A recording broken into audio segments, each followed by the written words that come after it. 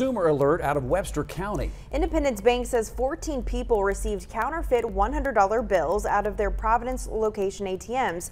Jordan Yeaty joins us with the details. Well, Brianne, Randy, when you take money out of a bank's ATM, you expect that cash to be real. But that wasn't the case for customers at Providence's Independence Bank over the holiday weekend, getting money made for the movies instead of for spending. It's like something out of a movie. It felt real, looked real, like a new crisp $100 bill. Tiffany Vaughn was just looking for some extra cash over the holiday weekend. When she and her husband got the money, they were in for a surprise. At first glance, everything seems fine.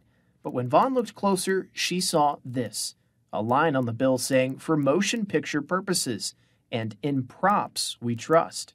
It was not wasn't just me. It was like several people that had went to that bank and pulled out hundreds. Me, I'm thinking that every single hundred dollar bill in there is a fake.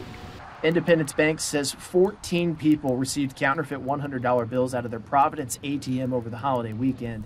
The bank apologized for the inconvenience and said once they learned about the issue, they closed the ATM and started contacting customers and their ATM vendor. Vaughn was one of those 14 who learned the hard way that her money was counterfeit. It wasn't until about 9 o'clock that night that we figured out that they were fake.